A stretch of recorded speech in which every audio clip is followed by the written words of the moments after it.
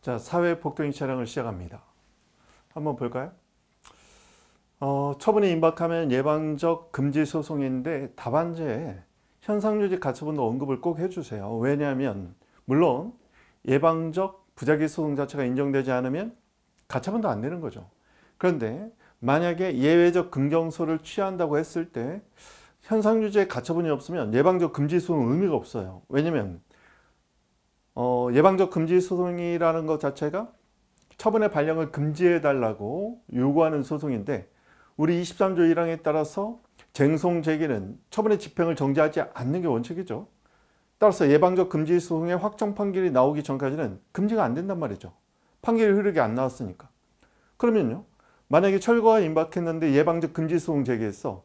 그런데 집행이 정지 안 되면 그러면 그냥 집행이 돼버리면 아무 의미가 없잖아요. 그렇기 때문에 예방적 금지 소송은 현상 유지, 일단 멈추라는 얘기죠. 현상 유지의 가처분이 결부되지 않으면 실효성이 전혀 없는 소송이 되버려요. 임박하면 예방적 부작위 소송과 현상 유지의 가처분이 문제된다. 이렇게 써주면 되는 거죠. 자, 뭐 의, 인정 여부, 학살 판례 검토 이런 것들은 다들 잘 쓴 것 같아요. 선생님 한번 미리 한번 쭉 봤는데 다들 잘 썼어요. 뭐 인정 요건도 뭐 다들 잘 썼어요. 나중에 추가한다면 뭘 쓰는 게 좋겠나요? Why? 왜 문제가 되는 거예요? 왜 입법화를 하지 않았죠? 입법화를 하지 않은 이유는 권력 분립이죠. 왜요? 행정청이 공익적 판단을 통해서 일정한 처분의 발령을 결정했는데 그걸 멈추라는 거잖아요. 따라서 권력 분립 원칙에 반하기 때문에 이런 어, 공익적 처분, 기속일 때는 별로 문제가 없어요, 사실은. 재량 처분일 때 문제가 있는 거죠. 즉, 재량 판단, 공익 판단을 통해서 일정한 처분의 발령이 공익상 필요하다고 행정청이 판단했어요. 그래서 공권력 발동을 지금 준비하고 개시 직전인데 갑자기 소송을 제기하니까 법원이 발령하지 말래요. 그런데 행정부 입장에서 봤을 때는 처분이라는 건 시적절함이 굉장히 중요할 수 있거든요. 타이밍을 놓치면 안 되는 경우가 정말 많습니다. 이런 경우에 지금 당장 어, 법원에서 공권력 발동을 금지시키는 것 자체가 타이밍을 놓치게 만들 가능성이 있는 거거든요. 이런 경우는 어떻게 할 거냐는 거예요. 자, 따라서 권력분립 원칙 때문에 입법하지 않았는데 왜 인정 여부를 논의하는 거냐? 실효적인 권리구조의 수단은 맞다는 거죠.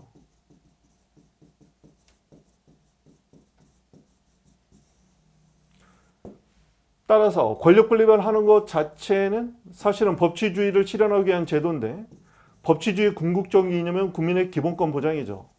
국민의 기본법 헌법 27조의 재판청권 보장은 권리구조하고 연결되어 있단 말이죠. 이런 것들을 정확하게 이해하는 게 중요해요. 입법화하지 않았는데 왜 인정 여부를 논의하는 거냐? 보다 실효적인 권리구조의 수단이 된다는 겁니다. 왜요? 지금 처분이 아직 발령되지 않았어요. 처분이 발령되지 않았으면 아직 처분이 없잖아요. 외부적으로 성립하지 않았다는 얘기죠. 즉 처분이 외부적으로 성립하지 않았어요. 임박해 있을 뿐이지 아직 처분이 발령된 건 아닙니다. 외부적으로 성립되지 않기 때문에 항고성을 제기할 수 있다 없다? 없어요. 왜? 대상적 격을 교류하는 거죠. 아직 처분이 존재하지 않으니까. 그런데 처분이 존재할 때까지 기다리면 회복하기 어려운 손해 발생의 우려가 있는 특이한 특별한 사정이 있다면 그때는 우리가 헌법에서도 많이 배우죠. 상황 성숙 이론에 의해서 침해 현재성을 앞당길 필요가 있는 겁니다. 뭐라고요? 침해 현재성. 어. 상황 성숙 이론. 상황 성숙 이론에 따라서 침해 현재성을 앞당겨서 다툴 수 있느냐 이런 논의가 있는 거죠. 어쨌든 뭐 그런 것까지는 안 쓰더라도 왜 쟁점이 되는지 그 정도는 정확하게 짚어놔야 되겠어요. 병역 의무 기피자에 대한 명단 공개 이것도 너무 중요하죠. 명단 공표는 행정절차법 40조의 3이 입법화됐기 때문에 너무너무 중요합니다. 그리고 여기는요 아직 학계 연구가 완전히 끝나 있지 않아요. 그래서 먼저 처분 개념 쓴 거 좋았고요. 처분 개념 쓴 거 좋았고 그 다음에 판례를 정확히 쓰는 게 여기서는 핵심입니다. 명당 공표에 해당되는지 이것도 언급해 줘야 돼요. 특히 조문의 키워드로 조문으로 포섭을 해주는 노력을 반드시 해야 됩니다. 그리고 관련된 판례를 정확히 쓰는 게 핵심이죠. 우리 판례는 공개 결정은 처분이고 공개 결정에 대한 공개 행위 자체는 처분의 단순 집행인 사실행위에 불과하다고 봤어요. 그리고 개별 통보를 하지 않은 것은 본안 판단에서 처분의 위법성과 관계될 뿐이지 소송 요건 단계에서 처분의 성립과는 영향이 없다고 봤어요. 뿐만 아니라 처분성을 인정해서 취소 판결을 받는다면 기속력에 의해서 위법한 결과적인 조치 의무에 따라서 권리구제가 될 수 있기 때문에 항고 소송으로 다퉈야 될 필요성도 커서 처분성을 꼭 인정해야 되겠다는 겁니다. 미리 통보하지 않은 거 이거 쓴 것도 좋고 나중에 취소 판결이 나왔을 때 기속력에 의한 결과 제거 의무에 따라서 권익구제가 가능하므로 기속력에 의한 위법한 결과 제거 의무가 있다는 거죠. 이에 따라서 권리구제가 될 수 있다는 거예요. 따라서 만약에 처분인지 불분명하다면 이런 경우에는 조기의 권리구제를, 권리구제를 위한 판례가 최근에 쓴 용어 쟁송법적 처분으로도 볼 수 있다는 겁니다. 그런데 최근에 행정절차법이 이 사안은 절차법이 적용된 사안은 아니에요. 왜냐 행정절차법은 2022년 7월 12일부터 시행되고 있고 아직 행정절차법상 어, 법 위반 사실의 공표와 관련된 판례는 없습니다. 너무 최근에 지금 시행되고 있기 때문에 따라서 행정절차법의 40조의 3이 적용된다면 실체법적 처분으로 갈 수 있을 것 같아요. 이제는. 그런데 만약에 그 전에는 얘가 처분인지 명확하지가 않아. 처분 절차도 제대로 준수가 돼 있지 않아. 방어 불복 기회가 보장돼 있지 않아. 그렇지만 이런 기속력에 의해서 권리구제가 가능하므로 조기의 권리구제를 위해서 최근 판례가 썼던 표현인 쟁송법적 처분으로 봐야 될 필요성도 있다는 거예요. 그러면 쟁송법적 처분으로 본다는 것은 처분인지 여부가 명확하지 않아. 첫 번째, 처분 절차가 준수되어 있지 않아. 따라서 두 번째, 불복 방어 기회가 정확히 보장되어 있지 않아. 그럼에도 불구하고 세 번째, 조기의 권리구제를 위해서 처분성을 인정할 필요가 있다. 이렇게 논리 구성도 가능하다는 거예요. 그 핵심은 얘인 거지, 얘. 기속력에 의한 위법한 결과적 조치 의무로 명당 공개 자체가 시정될 수 있다는 겁니다. 그리고 나중에 정정 공부라든지 뭐 사과 이런 것들을 할 수도 있는 거니까.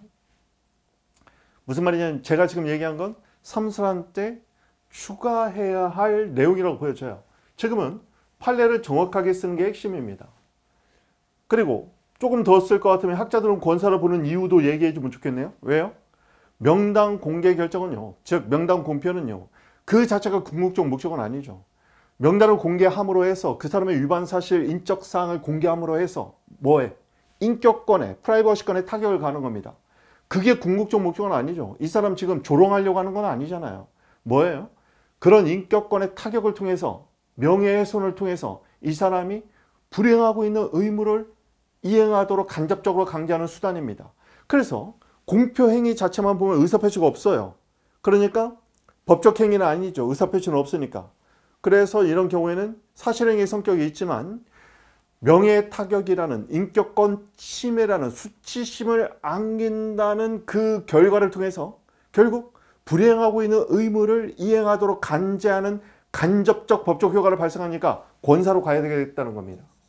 학자들은 아직도 권사로 보는 학자들이 많아요. 그렇지만 학, 판례는 공개, 공표 행위 그 이전에 공표 또는 공개 결정 자체의 처분성을 인정해야 된다 이렇게 보는 거죠. 마치 세무조사와 세무조사 결정을 나눴던 것과 똑같습니다. 이제 그런 것들을 이해하고 보라는 거예요. 기타 소송 요건은 꼭 써줘야 돼요. 소재계의 적법성을 물어본다면 소송 요건의 일반론보다는 포섭이 중요하다는 거 꼭 기억하세요. 소위 이 판례에서는 소익도 중요했어요. 중간행위가 있었죠. 중간행위는 최종 결정이 나오면 소익이 없는 겁니다. 그래서 소익이 없기 때문에 다툴 필요가 없기 때문에 소의 대상으로 삼을 필요가 없다. 그래서 처분을 인정할 필요가 없다고 표현하죠. 소액 관련된 것은 이제 압축을 어떻게 했는지 좀 보시고 나는 요건을 조금 쓰겠다. 그러면 아주 간단간단하게 써야 돼요. 어, 좀 주의하실 거 하나는 뭐냐면 12조 제2문의 회부되는 법률상에게 의미 학살 판례, 소곡설, 뭐가 소극이고 뭐가 적극이에요? 부수적이 포함 여부입니다. 즉 12조 제1문과 마찬가지로 법률상 이익은 당연히 포함되어 있는데 그거 이외에 인격적 사회적 법익인 명예신용을 포함시킬 거냐 포함시키지 말자. 그럼 어떻게 되는 거야? 법률상 이익만으로 판단하자. 일문과 이문은 동일해진다. 적극설 포함하자. 그러면 일문보다 이문에 회복되는 법률상 이익이 더 큰 개념이 돼버리는 거죠. 원고적 격보다 어, 그 개념이 더 넓어져. 왜냐면 부수적 이익이 포함되는 거니까. 이건 독일의 이론. 고기 퇴학 사건이 있었다. 자, 소액이 있는지. 최종 처분을 다투는 게 보다 실효적이다. 뭐 이렇게 봐도 되겠고요. 그리고 어떻게 보면 중간 결정은 최종 결정이 나오면 독립된 존재 가치가 없이 뭐 소멸한다 또는 흡수된다 이렇게 볼 수도 있겠죠. 사안에서는 판례는 보다 실효적인 이런 표현을 썼어요. 그리고 처분이 이미 소멸했을 때 남은 이익이 있느냐 직권 취소했을 때 어, 남은 이익에서 이익은 회복되는 법률상이 얘기하는 거예요. 원칙은 없지만 예외적으로 위법한 처분의 계속 반복 위험이 있을 때 사안은 그게 없다는 거죠. 그거를 꼭 써줘야 돼요. 동일한 처분의 계속 반복 위험이 있어서 법률적 해명이 필요할 때 이 편이 꼭 있어야 됩니다. 사안은 판례 변경에 의해서 취소가 된 거기 때문에 계속 반복의 위험이 없다는 것만 정확히 써주면 되겠어요. 자, 예방적 부작위 소송. 이제 시간이 없어서 이렇게 쓴 것 같은데 조금 더 자세히 좀 써주는 게 좋겠어요. 그리고 이순환이니까 이 정도 쓰지만 검토해서 논의 실익 같은 거 제가 아까 말했던 것들을 적절하게 집어넣기 위해서 노력하시기 바랍니다. 집행정지. 집행정지는 쓰면 안 되겠죠. 물론 안 된다라는 걸 언급하는 건 상관없어요. 처분이 아직 발령되지 않았기 때문에 처분의 존재가 없으면 집행정지는 아예 처음부터 탈락이에요. 처분이 있을 때 처분의 집행을 전제하는 건데 아직 처분도 없는데 집행정지는 아니죠. 즉 현상유죄 가처분입니다.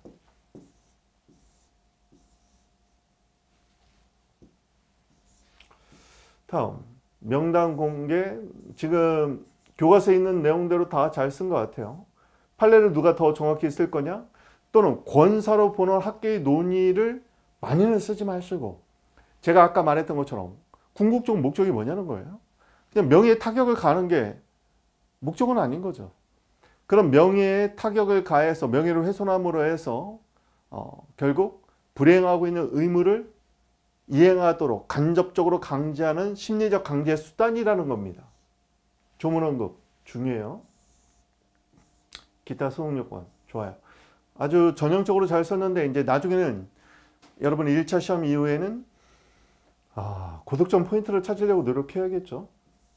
최종 처분이 나면 중간 처분은 독립된 존재 가치가 없이 소멸한다.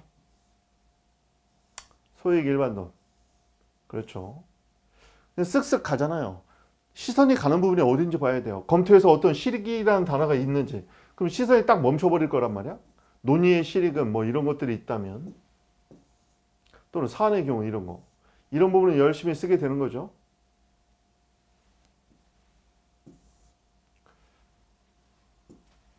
자, 뭐 내용은 거의 다 대동소이하게 잘 썼어요. 예방적 금지 소송이란 개념 써주는 거 좋네요. 인정 여부에 관한 학설 판례. 보통 이럴 때 이제 이렇게 써도 되고 의미, 문제점 이렇게도 많이 쓰죠.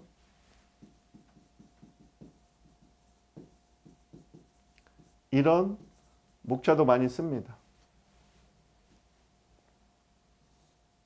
자, 다음은 학설 판례. 음, 뭐 내용 자체가 그렇게 딱히 어려운 건 아니어서 명단 공표는 특히나 절차법 40조의 3 관련해서 반드시 준비가 되어 있어야 돼요.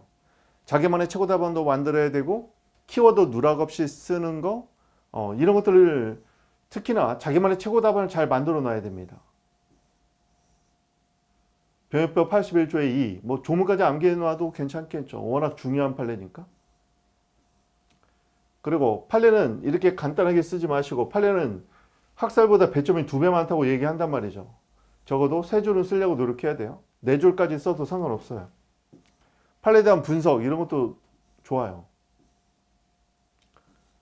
조문 쓸 때는 이렇게 좀 표출을 해서 내가 썼다는 걸 좀 어필하는 거죠. 어필.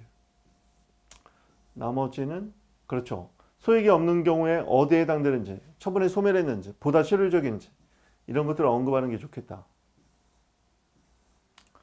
자, 뭐 대체로 잘 썼어요. 어, 지금 본 것처럼요. 다들 잘 썼어요. 최고 답안들. 결국 여러분이 여기서 60점을 훌쩍 넘는 답안지를 쓰냐 마냐, 마냐는 결국 준비가 돼 있어야 된다는 거예요. 예방적 부작위 소송을 못 쓸 사람은 없습니다. 현상 유지의 가처분 언급도 필요하고 왜 예방적 금지 소송이 문제가 되느냐? 우리 행정소송법에서 규정한 항고 소송의 종류가 한정적으로 열거해 놓은 거냐? 아니면 예시에 불과해서 해석상 더 추가할 수 있느냐? 이것도 조문의 해석이 문제가 되겠죠? 항고 소송의 종류에 관한 규정을 예시로 볼 건지 열거로 볼 건지 뿐만 아니라 그 안에 더 숨어 있는 이유는 왜 입법화를 안 한 거냐?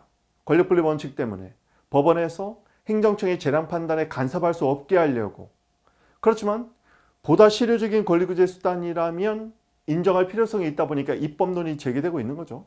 자 그런 것들을 잘 이해해서 그것들을 나중에 자기만의 최고 답안에 1차 필세 끝난 이후에 더 본격적으로 암기하고 답안지 쓰는 마무리 단계로 넘어가는 삼순환 때는 이런 고득점 포인트를 자꾸 채워나가야 돼요.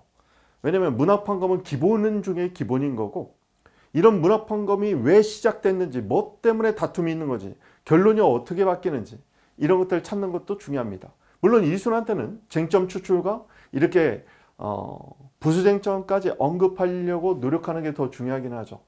자 오늘은 여기까지 하겠습니다. 수고하셨습니다.